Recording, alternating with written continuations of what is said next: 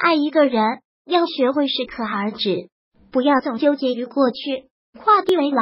自我设限的爱情是可悲的，不是真正爱你的人，不值得傻傻守候。一个不是真心爱你的人，不管你付出多少，永远都不会得到回报。要知道，让你病的人，给不了你药；给你药的人，舍不得你病。人只有一生，短短数十年的时间，不必去强求。不要把精力放在不爱你的人身上。天涯何处无芳草？要相信最美的风景尚在远方。三心两意，忽冷忽热，只想一味的保持暧昧。这种人不值得留恋。